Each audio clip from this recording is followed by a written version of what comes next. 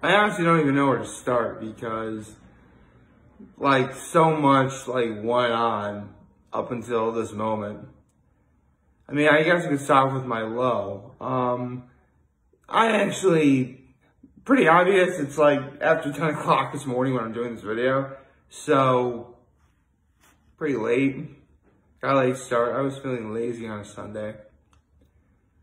And that night I went to bed stupidly late last night. Um, with that said, I obviously got a late start. I tried cleaning up my apartment quite a bit.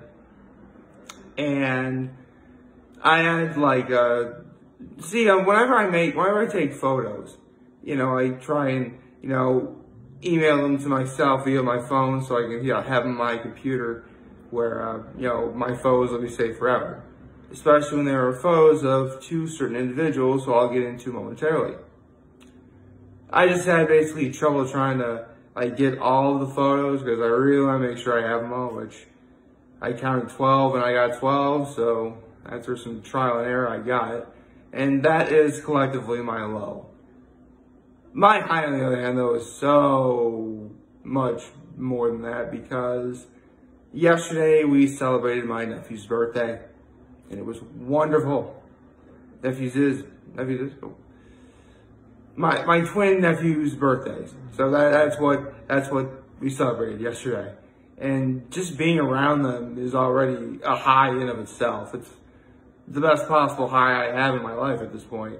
Not that there's anything, not that there is nothing else in my life, but with places like Rita's closing today, the Switzerland Inn up at closed last night. That was a shell shock for me. I actually wanted to kind of go there final evening, but honestly, with the way the world is, it's, you know, kind of for the best. So, um, to the good people at the Switz who may or may not be watching this, or if you're a fan of the Switz, you know, you like going there a lot, you know, obviously, and, and again, obviously the good people who work there because, you know, most people have jobs, you know, maybe support their family and loved ones. You know, that's how they do it. You know, I hope that you're, in spite of how crazy this year was, yesterday was a wonderful day to end out on. The weather was beautiful. It's like 70 degrees out. My mom actually yelled at me for wearing the wrong kind of shirt, but I'll get into that in a minute. Like yesterday was a really nice day. So with the with the Swiss last day being open, you know, I hope the good people at the Switzerland Inn are doing okay. You know, hope you have a wonderful winter. And here's to hoping that I'll be there, you know, for Polar Bear Plunge 2021. Because I was supposed to do it this year and, you know, the world turned upside down, as we all know.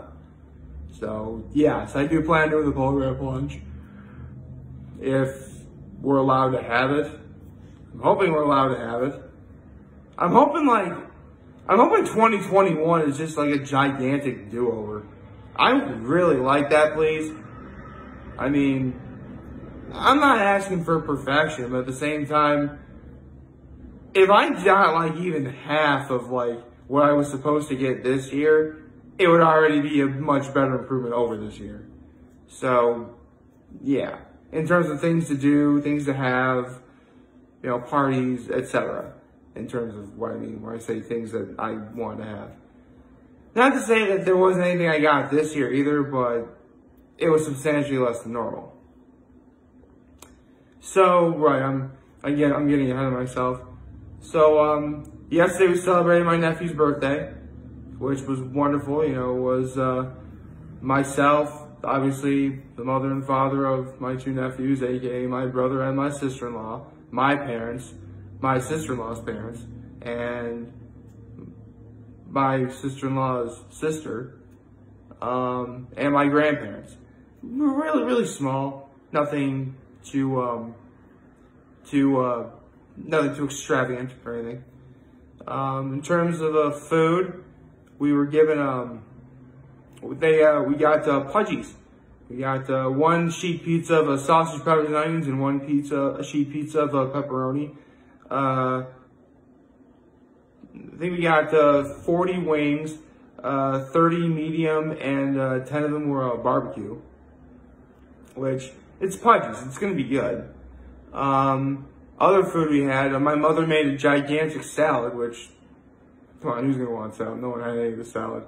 Um, I actually brought uh, two of those tiny jars of pickles that I made, and uh, you know we had some of those. Um, there was a bowl of chips, just regular potato chips. But um, outside of the pizza and uh, my homemade pickles, there were actually uh, two crown jewels of the um, of the meal of what of the food we had. Oh, my uh, my sister-in-law also made her famous buffalo chicken wing dip. I mean, that's awesome, but that's not what I was about to talk about. Um, actually, I have a friend who also makes really good. Well, actually, I have another friend who also makes really good buffalo chicken dip. We have to get together and have a taste test. Um, right. Anyway, um, with that being said, the crown jewels were, um, see, I've, I've shared this before. My sister-in-law is half Irish, half Filipino. Her mother is 100% Filipino, and obviously she makes Filipino dishes. There's one dish that for the life of me, I can't remember the name. It had like cabbage and shredded chicken, shredded chicken, shredded cabbage, like cooked um, really thin noodles. That was very good. But um, the best thing that my sister-in-law's mother makes, and it's so good, I get, here's the thing. What I'm about to tell you is so good that if wings didn't exist, it might very well be the hors d'oeuvre of my full course menu. I'm being serious. It'd be up there. Maybe up, right up there with the likes of, uh, definitely popcorn would be a contender if wings didn't exist. But uh, that, that's not here there. See, my sister-in-law's mother makes the best egg rolls ever. I am not even kidding. They are that good. And like, it's so sad too because like a couple years ago, I was on a huge, like, I was on the sriracha bandwagon. I was. And I was, and I never, and I always want to have sriracha with her egg rolls. That would have been amazing. Maybe someday. I mean, I don't hate sriracha anymore. I just have, I actually haven't had sriracha in quite a while. I mean, if I, I mean, it's not like I got sick of it or anything. I just, I wanted to try other stuff and I guess sriracha kind of fell the wayside. I mean, there was a time where sriracha was hugely popular. I'm not even kidding. Like, you saw it like everywhere. And for good reason, it actually did taste really, I remember liking it quite a lot actually. But the fad sort of kind of, you know, died. Not that, not that I think sriracha is bad. I would try it again if I remembered it. That's another thing. I just gotta remember, I gotta be in the mood to get it and I have to remember to get it. That's like one of the main reasons why like, I haven't made stuff like mac and cheese in a while. Because like, I'm just not in the mood for it anymore. Then again, I did have it a lot, like, during the summer. I was stupid like that, but yeah. So, now you know the, um, the intricacies of, uh, of, of things that happened yesterday. But, uh, yes, and for dessert, um, uh, my, uh, brother and sister-in-law got, uh, two miniature cakes and, uh, cupcakes from, uh, Annabelle's Bakery in uh, Market Street in Corning, which with man, now I said before, B Sweets has the best red velvet and the best carrot cake I've ever had. Unless, I mean, again, stuff like that is subject to change, but right now, B is the best red velvet and carrot cake. Annabelle's easily the best vanilla and chocolate. And I do believe Annabelle's also did uh, my cousin uh, Hudson's birthday too. And they did like cotton candy vanilla and like orange creamsicle. So those are good too. So I just recommended two bakeries at one time, B Sweets and Annabelle's Bakery. Go to them, please. They, they're local and they could use your business. And that is my act of kindness. Oh, actually my act of kindness was the gifts I got for my nephews. I got them like um, a sort of like play set that transforms to like a kid's basketball hoop, but can also transform into a soccer goal, which is actually very, um, very, um, very fitting because my brother played soccer and basketball when he was in high school. So, yeah, it actually makes sense I got something like that for the boys. And there was something else I got too, but I forgot. And plus, I also made the pickles. And, you know, I got them, you know, cards. I'm a very loving uncle, okay? And that was my, getting the gifts for my nephews was my act of kindness. So, wow, that was a long intro. Good morning and happy Sunday, everybody. Um, I guess there was, there was anything else I wanted to mention is, here's the thing. The party was at 3 o'clock yesterday. And normally, you know, my family goes to church at 5. At least my father and I would go. But, you know, my father is, you know, obviously the grandfather, so he has to, you know, stick around. I mean, I was free to go to church, so, so I did. You know, I wanted to represent the family in any way. Plus, the, the community of uh, Corning has seen my father and I go to church at the St. Mary's in Corning so much that I guarantee, like, if one of us didn't show up, something would be wrong. They would probably have to send out a search party. So, uh, you kind of fell on me to go. Which, you know, it was fine. Went to church. It was nice, nice and peaceful. After that, I uh, visited my folks last night, watched a little bit of TV, watched a little bit of uh, Clemson and Notre Dame, and uh, diners, drive-ins, and dives in hometown. Yeah, just, yeah, Saturday nights, I mean, again, even though I can't really go out because, again, the way the world is working right now, you know, I'll just hang out with my folks. I mean, they certainly don't mind.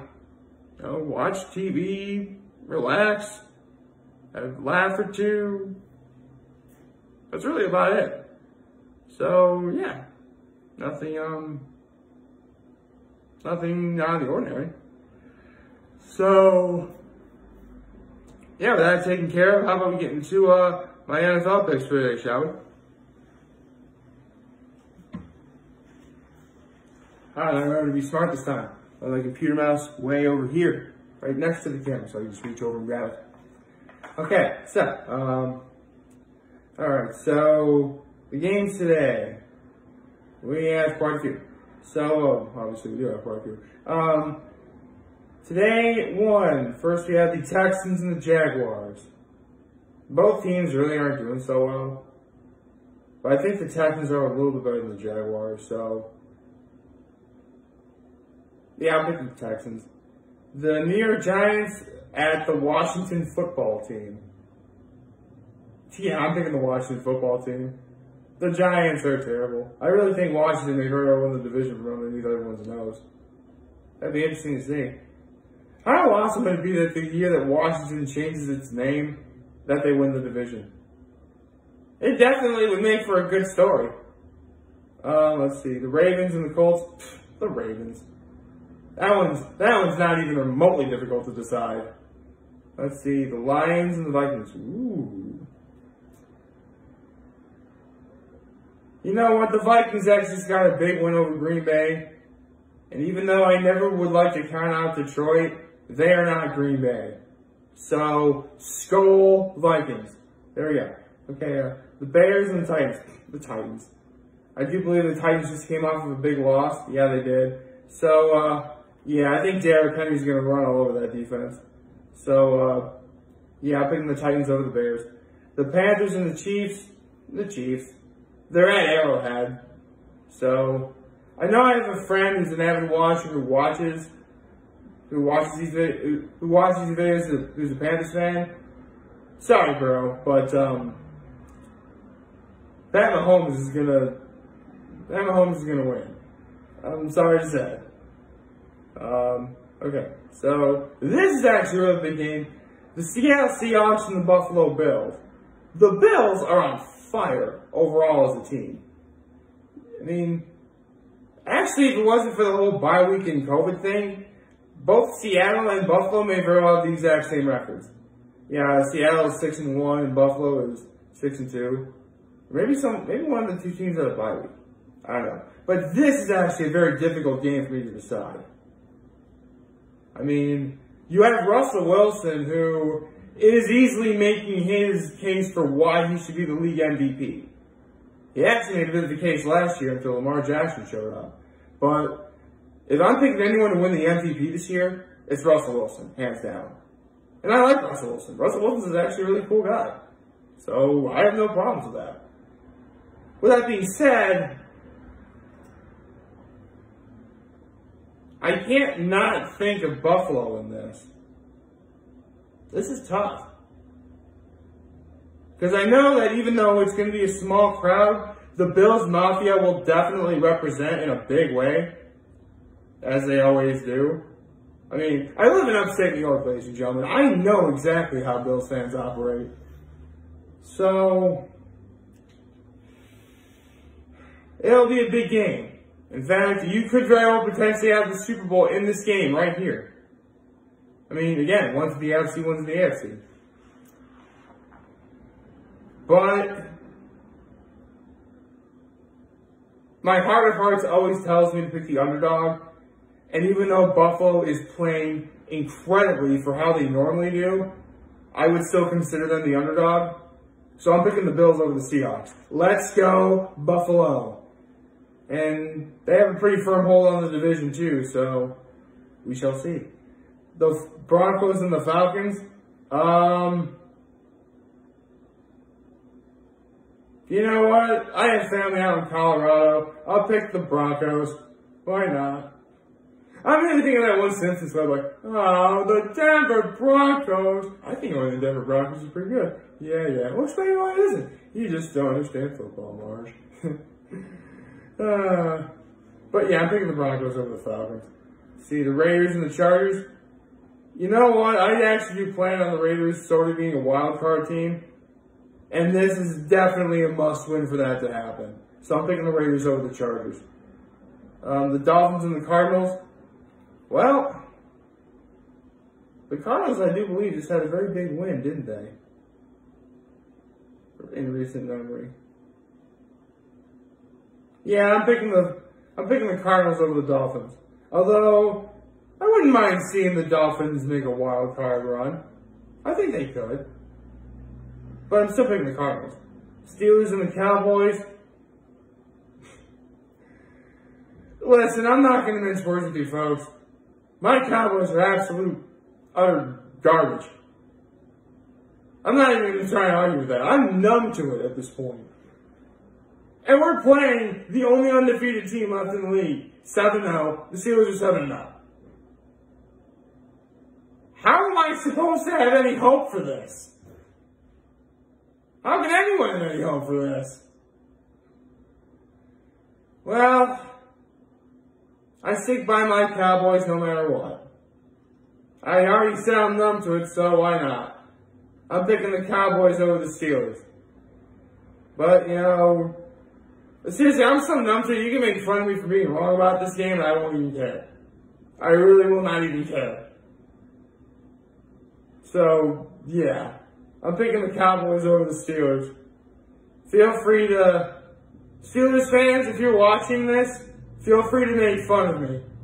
By all means, I won't mind. I will not mind. Um, the Saints and the Buccaneers. You know what? Tampa Bay is at home. I'm going with Tom Brady and the Tampa Bay Buccaneers in this one.